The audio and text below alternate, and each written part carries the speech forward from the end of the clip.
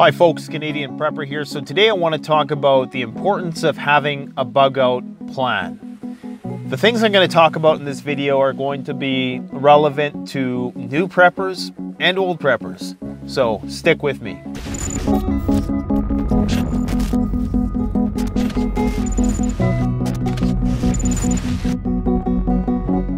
When I first got into prepping 10 years ago, it was all about the bug out bags. It was just around the time when YouTube was getting popular and everybody was putting up videos of their bug out bags and comparing all the different nifty gear they can put inside them.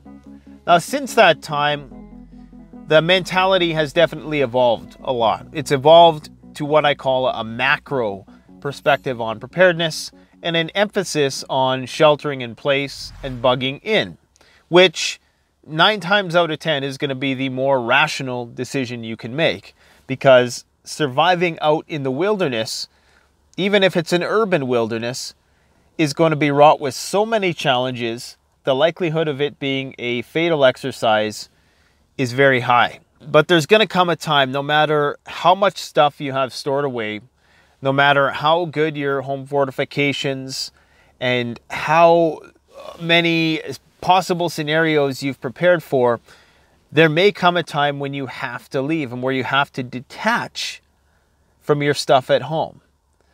And it's important that you have a trigger or a threshold that once it's met, you know that, okay, it's time to go. This situation can not be salvaged. There was a video of people in the Australian wildfires desperately trying to save their home, almost to the point of their own peril, because they were breathing in carbon monoxide while these flames engulfed everything around them. And that is stupid. it's not stupid in the sense that they're not intelligent people, but it signifies that there may come a time when you have to let go of everything you've created and you have to go to plan B. Now, we don't want to go to plan B. We don't want to have to actually break out a bug out bag, but there are many scenarios that might lead to that. Like I said, wildfires. It could just be the cumulative effects of pandemic, economic collapse, civil unrest. Who knows, maybe the icing on the cake is going to be some environmental disaster on top of all of that stuff that's going on. What if a hot war breaks out and your city is a target. It could happen. I'm not saying it will happen, but it could happen. Your home may be smoked out. Your home may be flooded out. You may be uh, chased out of your home or about to be chased out of your home by an angry mob. It could happen. We've seen it come close to happening, even though the shit hasn't even hit the fan yet. So it could very well happen that even though you do have the firepower, you may even have a sizable group. There's going to be a breaking point at which you can no longer hold people off, or the risk to your family is just going to be too high to stay in that place and try to defend it. And in such case, you do need a bug out plan. Now, the bug out bag has gotten a bad rap, I would say, in the last few years as we've evolved into more of a, a shelter in place community, which is understandable. I think that nine times out of 10, that's the best approach to take. But there was a reason why the bug out bag was so important, and I would argue it's still very important to this day. There may come a time when you have nowhere to go and no way to get there. And the only thing you're going to have is the tools on your back. There may come a time when you have nowhere to go and no way to get there. Now, another important aspect of the bug out bag, or what I like to call micro preparedness. I'm going to talk about the distinction between micro and macro preparedness in a minute. But micro preparedness is important because it's something that's achievable to the average urban apartment dweller. Anybody can, you know, save up a few dollars every month and slowly put together a decent bug out bag. Not everybody has the money to move out to the country and buy land and put stuff on that land and build a life out there in a sustainable way. Not everybody has the means to do that. But everybody, for the most part, can go down to a local Walmart, put a few bucks in every month, and build themselves out a decent little escape hatch kit. So the building of a bug out bag is a learning experience in itself because it gets you familiar with all the different classes of gear that you're going to need to sustain the many aspects of life. Now, the distinction between micro and macro preparedness is such that everything that you have in your bug out bag, there's going to be a corresponding bigger thing that you're going to need to live indefinitely off the grid. So, for instance, a water filter that you would put in your bag, let's say the smallest of the smalls, like something like a LifeStraw that can filter out just bacteria, hollow fiber. The macro version of that is going to be a rain catchment system or having a water source on your land that if you need to, you can purify. What about a shelter, a tarp, or a tent in your backpack? What's the macro version of that going to be? Well, obviously, ideally, a homestead of sorts or a home that is self sustainable. Doesn't necessarily have to be a homestead.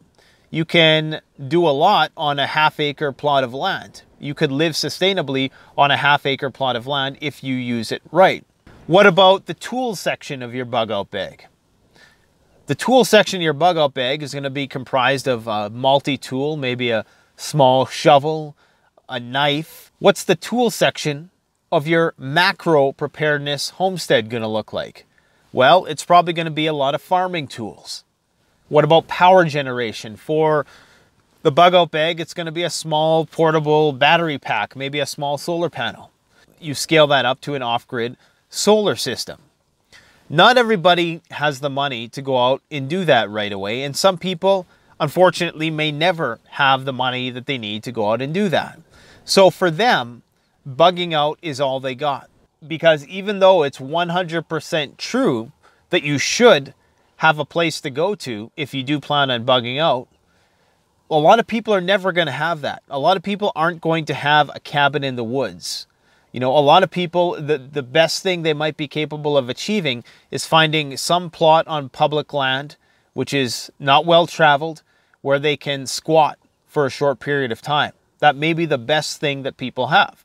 And indeed, if that is your plan, you should be scouting out areas where you could potentially do something like that. Because as much as it's fantasy based thinking to think that you're going to go out there and, and, survive in the wilderness, there may come a time when that really is your only option. I need to emphasize that most of the time, it's going to be far better to ride it out where you are. And the likelihood of survival, even if you are surrounded by a lot of hazards and security threats is going to be much higher. But look, if you're living in one of these high rise apartments and there's a grid down predicament, a, a cyber attack, uh, electromagnetic pulse, you know, maybe, uh, you know, just the cumulative effect of all of these things, economic, a civil unrest, civil conflict, even. If something like that transpires, maybe being in a high rise building when there's not a fully functioning fire department is not the best of ideas. Now, is running out into the wilderness with no survival skills and a bug out bag a better idea? Probably not. But what I'm saying is, there may come a time where you have to make that choice as to whether to stay or to go. So, the three main things to consider are what is going to be your trigger that it's time to leave? What are going to be the criteria upon which you decide, okay, it's time to bail? Where are you going to go? And how you're going to get there. And unfortunately, like I said, for some people, the scenario is going to be I got nowhere to go and I got no way to get there. And that's why you may want to go and check out some of my other videos about how to evacuate the city, uh, how to survive in an urban environment in a grid down predicament, how to get out of an environment, how to defend a small community, things of that nature. Now, here's where the importance of a series of upcoming videos that I'm going to be doing is going to come into play. Those things are caching supplies in a safe place away from your main base, just in case that base is compromised, it's overrun, it's burned out, it's smoked out, whatever the case is, you have some kind of backup plan, some kind of backup supplies out there somewhere, not to help you survive indefinitely. Maybe if you're lucky enough, it's to get you to a bug out location that you have, but maybe it's just to sustain life for a short period of time. Whatever the case might be, having survival caches is important. The next thing is going to be reimagining the inch bag. The inch bag, if you don't know, is an acronym for I'm never coming home. And I'm never coming home bag. It doesn't have to be a bag, it can be a kit, it can be a box of stuff you throw in your car. It's basically, okay, this is what I'm taking because my house is burning down and I'm never going to go back there again. Now, the circumstances surrounding that may be localized or they may be national. You know, you could be talking about just a local wildfire. You could just be talking about a house fire in which you're just going to go and stay at a hotel till your insurance comes through and you can move into a new place. Fine.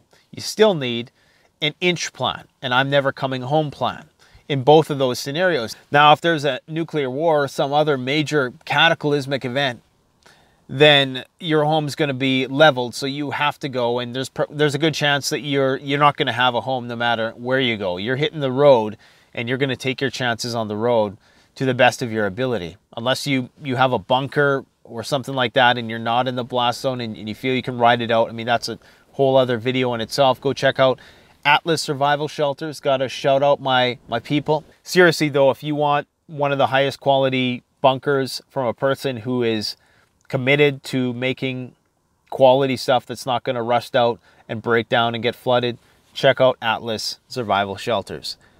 Anyways, the point I'm trying to make in this video is that while it's maybe very unlikely that you'll ever have to abandon ship, the time may come when you have to, and you're going to need a plan for that.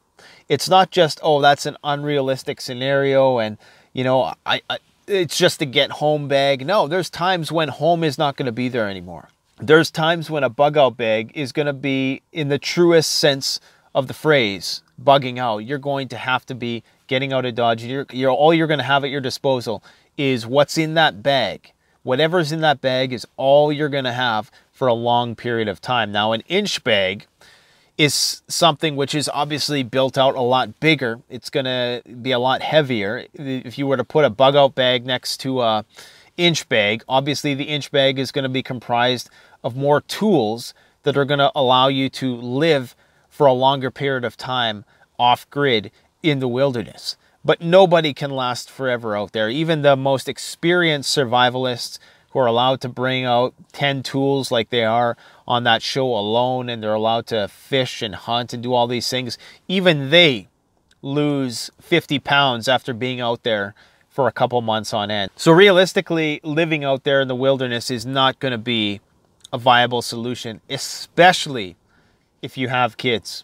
You're going to have to lay roots somewhere in order to build a sustainable lifestyle. Human beings are not nomadic anymore. We, we may evolve into that, you know, in some Mad Max world several generations out, if that ever happened, we might evolve into it. But from the get go, no, it's going to be people living in horticultural plots trying to survive. That's what it would be. Now, I think in the case of I'm Never Coming Home, one of the main points of focus should be on your vehicle. It should be on how can I load up my vehicle with as much stuff as possible in as secure manner as possible so I can potentially live out of that vehicle if things got really bad. And of course, that's going to be contingent on the type of fuel that your vehicle takes. Now, herein lies the reason why I think that electric vehicles in spite of the whole one-off EMP thing, okay, all that aside, electric vehicles have the potential to be an ideal inch vehicle because you can power them from the sun. And in terms of actual performance, they destroy ICE vehicles, internal combustion vehicles. They destroy them on almost every metric. So ideally, that would be the case for me, some sort of EV motorhome or an EV pulling some kind of trailer that you can live out of for a short period of time. I think that the inch bag shouldn't even be considered without some vehicular component to it. There needs to be a means to get your ass out of Dodge with as much stuff as possible. And I don't think considering inch as a potential strategy should even come to your mind if you don't have a vehicle. Because if you're planning on inching out into the wilderness with a backpack, chances are you're going to last a few days at best. And if you're very skilled, maybe a bit longer. And if you're, you know, really skilled and you're also a thief, like there was that one guy who, what, he lived in the wilderness and he was, he was stealing from people's houses for like 15 years or something like that. It's a true story. There was a guy who was in this community and he went missing and they found him like, I don't know, 15 years later and he had been robbing people and just living off grid like a wild man, you know, for, for that period of time. But he was stealing, so he was kind of still leeching off the grid. But I mean, unless you're, unless you got that kind of mindset, then I don't think it's going to be feasible for you to to eke out an existence that way. So what I'm saying is, don't even think about inching out if you don't have a way to get out. And I don't think an EV bike is going to be a solution. I think an EV bike paired with some kind of motorhome might be a solution because, again, you can power an EV bike from the sun and you can do a lot with an EV bike, especially around hunting and stuff like that. So it can be very useful uh, in that regard. But I don't think as a means of hauling your gear, nor is it very safe so, you know, at least with a vehicle, you can sleep with that vehicle. And that's the going thing now, anyways, is people living out of their cars. And hell, you just look at what's trending on this platform. And if you want to be a, a millionaire blogger or vlogger, uh, all you got to do is go get yourself a rusty old van and glorify the off grid living in a vehicle lifestyle that a lot of people are doing nowadays. like it's, you know, you see these people who are all clean shaven and beautiful young people, you know, and they're living in their vans and they're talking about how great it is, you know, even though that's the way that, you know, hobos are living and want to get away from that lifestyle. But I guess that's that's where we're at. That's why, I say, the future in its current form is probably going to be nomadic. Everybody's going to be homeless. But uh, let's not go on a political rant. let's not do that. I'm going to stop. We're going to keep this at the level of inching out. So going back to the main points of this video is inching out is not just a fantasy. There's a reason for looking at bug out bags. There's a reason for focusing on what happens if I can never come home. But you need a plan. You need a way to get there. And even if you don't have a place to go, okay, you still need a way to get there. so you still have to have a way of transporting yourself and as much provisions as possible to some location somewhere. Even if that means you're squatting on somebody's land, it's better than dying. Okay, I'm not saying do anything against the law or you know try to respect people's private property, but in the case of the collapse of civilization and you're trying to survive and you're trying to you know feed your family in any way you can, I guess anything goes at that point. And that's part of the problem also again of having a homestead is that you're going to be faced with that. You're going to be faced with people who have kids and will do anything that they can to try to keep those kids alive, even if it means kicking you out of your property. So even you are not safe and you have to have an escape hatch. You have to have a plan to get the hell off of your property if it looks like you're going to be overrun or you're going to incur casualties that you're not willing to incur or that you don't have the, the healthcare system there to treat those casualties. Because remember, all it takes is a scratch and an infection without antibiotics for you to succumb. Now, there are alternatives that I'm not going to get into in this video are also be demonetized. Every video I've made about that topic has been demonetized, but there's alternatives to that, um, to how to treat if you can't find antibiotics, because of course you need a prescription to get them. There's alternatives. So let me know in the comment section, what is your inch plan? Maybe you live in a homestead. Maybe you have everything. Maybe you got the bunker, Maybe you got the, the whole nine yards, the solar panel, you got the permaculture, you got the livestock, you got all that stuff. But what are you going to do if you have to leave? Where are you going to go? Are you just going to fight and die on that hill? Or are you going to do the smart thing in some cases and pack up shop, leave, maybe circle back around once whoever kicked you off your property got complacent, take it over from there, go rally some troops, what are you going to do? What are you going to do if you if it's not a scenario like that and you do live in the wilderness and there is a wildfire that burns you out? You know, where are you going to go to? Do you have a plan B? And how are you going to get there? In the future, my next project is going to be the inch project. But we're taking the word bag out of the equation. I don't think inch bag is realistic even though it may be the only thing you got. A duffel bag full of shit, a hundred pound duffel bag full of tools, maybe all you got. Fine. But I don't think that's going to be ideal. I think inch should only be used in conjunction with the word vehicle or trailer or RV or motorhome, whatever you want to attach to it. But it's got to be something that can carry a lot of stuff and take you far away from your location and potentially act as a shelter for you also.